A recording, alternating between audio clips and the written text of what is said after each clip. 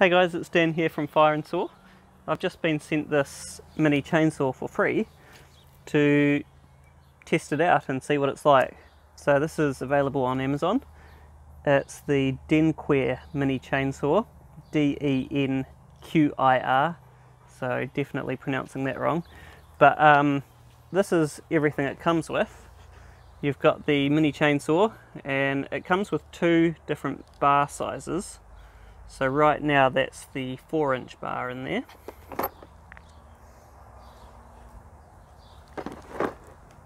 This is the six inch bar, if you can call it a bar, mini bar. There is also two batteries. So one here and the other one is in the unit already. Came with these gloves which aren't protective by any means. I'm not sure what their purpose is. Keep your hands warm. they um they they're just made of some soft material, but they come included. Um, you got safety glasses as well. You've got your charger, and you've got some a screwdriver for tightening up the screws, changing the chain, changing the bar, and that sort of thing and then you've got the extra chain which is for the the longer bar as well. And then it comes in that carry case which is it keeps it makes it handy to keep it all in one spot. So that's the saw. It's all charged up. It came charged up. I'll just show you.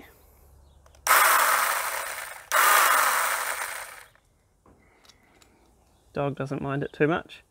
So now I'll, I'll try it out on a couple of bits of lumber before trying it out on some branches as well. So I've got a few bits of wood here to test out the saw on. Start with this one, it's just, they're all pretty thin.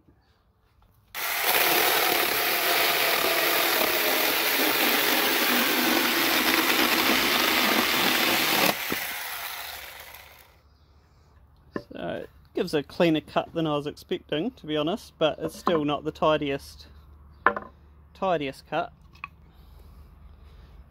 But really easy to use in a bind or if you if you need to cut some lumber for the garden,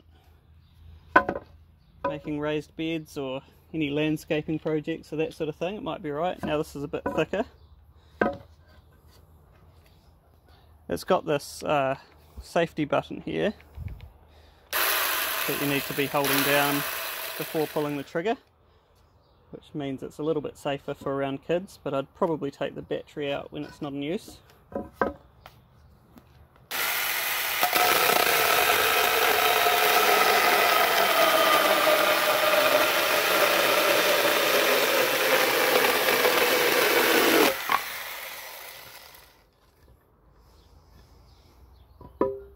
Pretty tidy and pretty efficient really.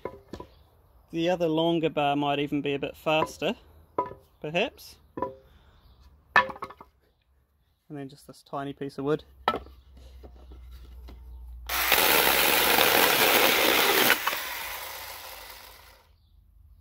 Pretty good. And I think it would be quicker if I wasn't, you know, if I had a bit more weight, like my foot on the other side of the bit of wood and I was uh, in a better position, not for the camera. So uh, yeah, all in all, pretty good for wood. So I've just come down to this part of the property where I have some really large compost piles where I put all my branches from the rest of the garden. And it's uh, got these trees that are overhanging into the paddock here. So I'm just going to try it out on on one of these larger branches. So this branch here for example I'll just lift the camera up that one there is probably three inches thick. So I'll get in there and give that a go.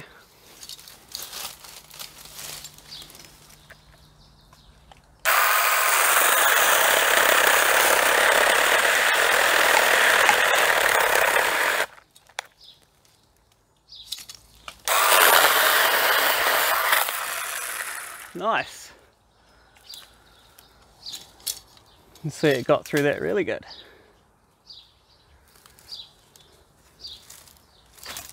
So I'll use the saw off camera to break that up a bit and um, break that down and let a bit more light into that paddock. I'll go and try out another tree now. So I have an orange tree in a glass house up here that I no longer want and I've already pruned off all of the branches and then I just need to take out the trunk. So this, this shed, glass house, was used as a chicken coop for the last few years and I've decided now I want to use it as a glass house. So it's got a few orange trees, mandarin, lemon, another orange tree there, but this isn't really the climate for them and they don't do well. And this tree, after three years, had never produced any fruit. And then this, this tree here has died as well. They weren't really looked after, but I've got this trunk, orange tree trunk, if you can call it a trunk, and um, I want to take that down, so I'm sure this will be fine. So this is still quite green because the tree was alive, it was just very sick. These lemon trees in the background are very sick as well, so we'll see what we can do about reviving them. But um, let's see how the mini chainsaw goes on this.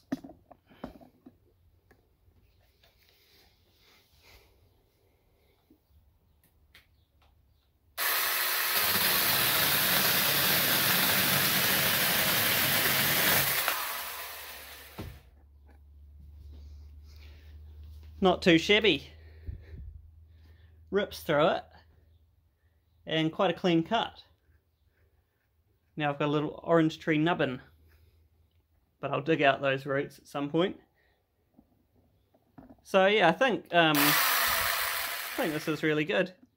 After five minutes use, what you can tell, I'll update this once I've used it a few more times and got to know it a bit better, tried out the other bar.